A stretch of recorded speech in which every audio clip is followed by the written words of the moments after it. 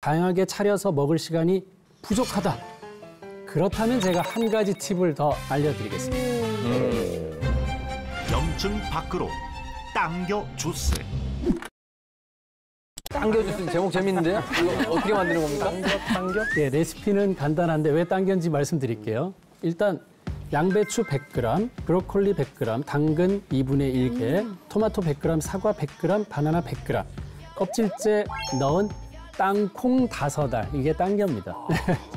냄비에 잘게 썬 채소와 과일, 물을 넣고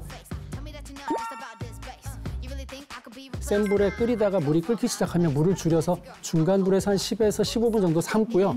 그리고 마지막으로 믹서에 식힌 채소와 과일, 채소 삶은 물을 넣고 곱게 갑니다. 네.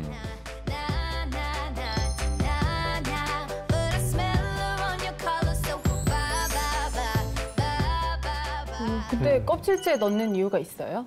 네, 땅콩 껍질에는요 신진 대사를 원활히 해주고 또 염증을 줄여주는 루테올린이라는 성분이 있어요. 루테올린이라는 성분은요 양파에도 들어있고 또 파셀리 이런 곳에도 들어있는데요.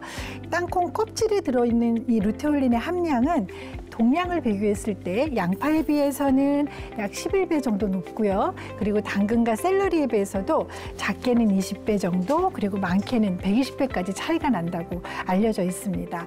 이렇게 주스로 드시는 것이 조금 불편하다 하시면 지금 땅콩 다섯 알 정도 껍질째 드시는 거 좋고요. 또 차로 끓여서 드시는 거 권장해 드릴 수 있습니다.